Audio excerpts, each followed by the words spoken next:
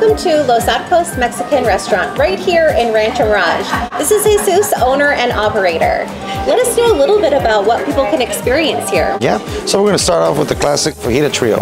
We have our grilled steak, grilled chicken breast, uh, grilled garlic shrimp. And over here we have our Los Arcos salad. Combination of our grilled shrimp, grilled chicken, tomatoes, strawberries, mandarins, walnuts, feta cheese. And then this one right here. This one's actually our best, best dish of all. It's our mole. My mother's recipe, well, my grandmother's recipe, my mother just inherited it. It is made from almonds, nuts, uh, chocolate. You know, it's called the Mexican chocolate sauce, but everyone seems to tell us that we have one of the best ones. It's great to be uh, part of Taste of Summer. A lot of people are gonna get to know us. For more information, visit tasteofsummerranchomirage.com.